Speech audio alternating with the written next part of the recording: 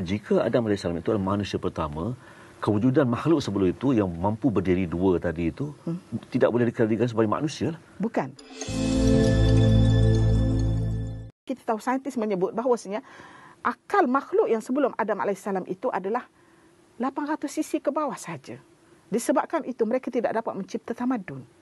Dan kemudian malaikat mengatakan lagi, yufsidu fil ard wa yasfiku dima. Yufsidu fil ard yang merosakkan bumi dan menumpahkan darah. Di sini ya Tuan Haji, menumpahkan darah.